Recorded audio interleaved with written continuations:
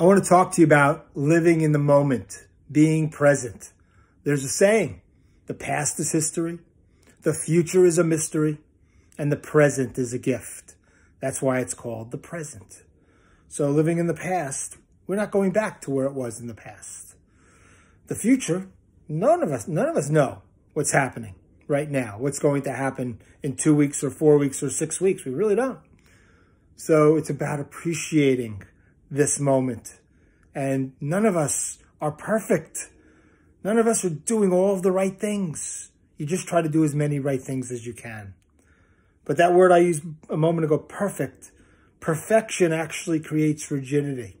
So what I ask of you is to really try every day to be outstanding and or be excellent in who you are and what you do.